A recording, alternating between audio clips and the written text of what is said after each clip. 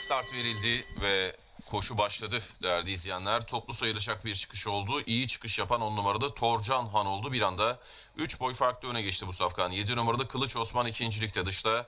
6 numarada Ateş Hanım üçüncülükte. 1,5 boy kadar geride. Dördüncülükte 5 numarada Dünya Kralı var. 2 boy kadar geride.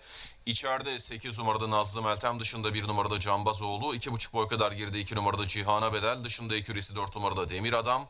Daha sonra 11 numarada Saçan Berk. 1 boy kadar yanlarında şimdi 3 numarada Mucit Tay. Onun dışında da bu metrelerde önlere doğru 9 numarada Selmin Hanım gelmeye çalışıyor ve safkanlar bu sırayla son 600'e girdiler. 10 numarada Torcan Han 1,5 boy farklı önde. 7 numarada Kılıç Osman ikincilikte bariyer dibinde.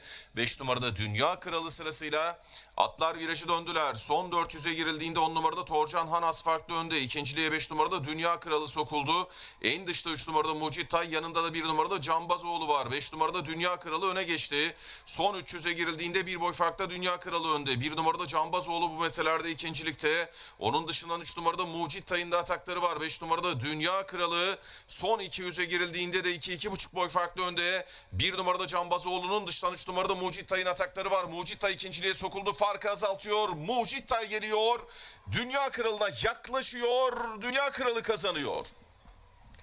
3 numarada Mucit Tay ikinci, 1 numarada Cambazoğlu üçüncü, 2 numarada Cihana Bedel'de, dördüncü oldu 5 numarada Dünya Kralı Müslüm Çelik'le kazandı.